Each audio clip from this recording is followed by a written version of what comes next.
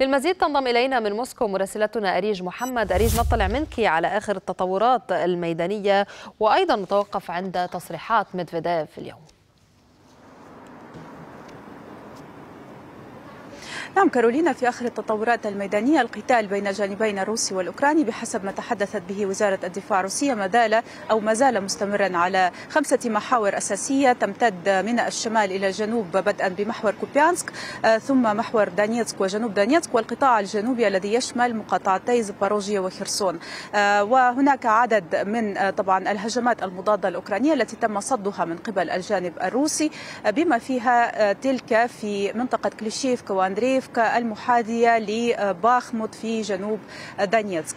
على صعيد التصريحات التي تحدث بها ووصف ربما من خلالها دميتري ميدفيديف نائب رئيس مجلس الأمن القومي الروسي الوضع المخيم بالأعمال القتالية التي تدور في أوكرانيا والدعم الغربي الذي لا زال يتدفق على كييف. هو دعم بالنسبة للجانب الروسي كما يصفه دعم متطور ونوعي وخطير. طبعا يشكل تهديدا بطبيعة الحال للجانب الروسي لكن لكن لدى الجانب الروسي ما يرد به وما يقابل به هذا التهديد.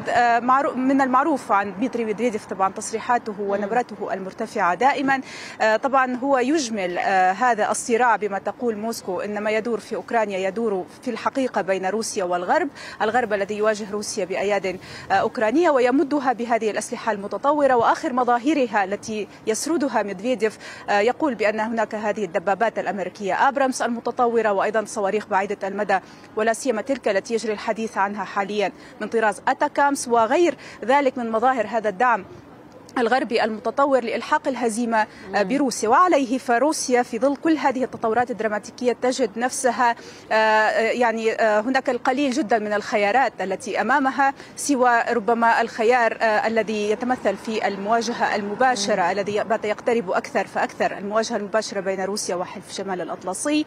طبعا ويشبه من خلال ما يجري حلف شمال الأطلسي بالتحالف الذي كان قد نعم. تشكل أيام أدولف هتلر أيام الحرب العالمية الثانية. الثانية أيضا ضد الاتحاد السوفيتي رغم أنه يقول بأن حلف شمال الأطلسي هو أوسع من ذلك الحلف وربما يزيده خطرا لكن طبعا بطبيعة الحال وبحكم الأسلحة المتطورة التي لدى روسيا ولدى الجانب الغربي ربما تكون عواقب مثل هذه المواجهة المباشرة بين روسيا والغرب أكثر إيلاما من تلك المعروفة بعد الحرب العالمية الثانية. شكرا جزيلا لك. من موسكو مراسلتنا ريج محمد.